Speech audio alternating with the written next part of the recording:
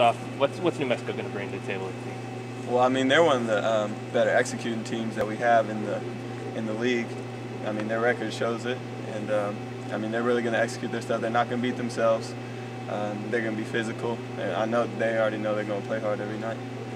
Tyler, I know we talk a lot about the offense struggling a lot. I'm pretty sure you're tired of us kind of hearing about that. You've kind of been the constant dog leading scorer. I know during San Diego State you would have liked to have a couple of those lights back and, and, open jumpers back, but how frustrating is it to, to maybe look like, you know, the hoops like a big as can of Campbell and it's pretty small? Um, I mean, it feels good. I feel. I mean, I put in enough time. I mean, a lot of us put in, you know, a lot of time in order uh, to be good at this game and to put the ball in the hoop. I mean, if it were that easy, everybody would be doing it. Um, but uh, yeah, I would like to have some of them back, but kind of got to move forward from them. Can't dwell on them too much because we got a big game coming up against uh, another great opponent. So. What's that like going through a Mountain West Conference where it's just every game is just, it's so tough? I think you guys are playing a fifth ranked team, um, the fifth time you're playing a ranked team this year, and uh, up against another one tomorrow night.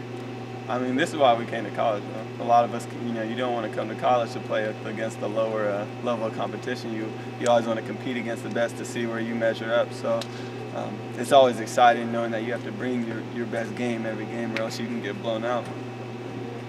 You know, again with, with the offense, what are some things that you guys have to work on as a team to, you know, get those shooting percentages higher and be more efficient? Uh, probably, I mean, a lot of it has to do with team chemistry. I mean, we got a lot of new guys coming in, and we have, uh, I mean, Braeden, you know, now he's in here, and now he's kind of got to get into the fold, and it's just, uh, kind of getting everybody to work together as opposed to, uh, I mean, everybody was maybe the best player on their old team, but now they got to come in here and, and, work together, and we'll get we'll get it rolling. We'll definitely get it rolling. Just take some time. What's it been like getting right in there? It's not a lot of six nine guys that can come in and start playing right away. Kind of like a nice addition midway through the year for you. Oh yeah, definitely. Any any extra big obviously helps, and he has a motor too, so we already know he's going to bring it every night. I just coach real quickly, you know, your two wins in conference have been at home. Is it as simple as home court advantage, or what is it about Save Mart Center and the fans that uh, you, know, you guys play a little bit extra well at? Well, I mean, being at home, and everybody plays a little bit better at home. I mean, feeding off the crowd. But um, coach always talks about not having the crowd bring energy to you. You bring energy to the crowd. So um, I wouldn't say it's so much as playing at home. I mean, think in preseason, most of our wins were on the road. So I think what it really just comes down to is um, whoever um, is executing better that night.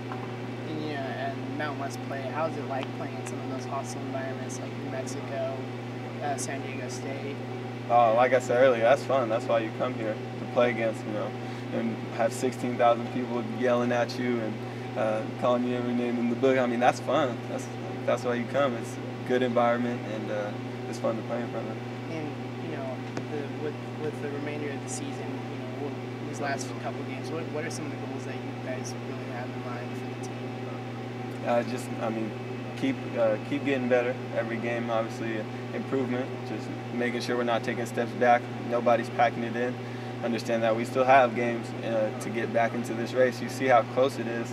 Um, no matter what's happened so far, we still can can get back right into the middle of the pack, get out of this little playing game that they have for the tournament, and set ourselves up um, with some momentum going into that Mountain West tournament crazier things have happened. Thanks a lot, man. Yeah.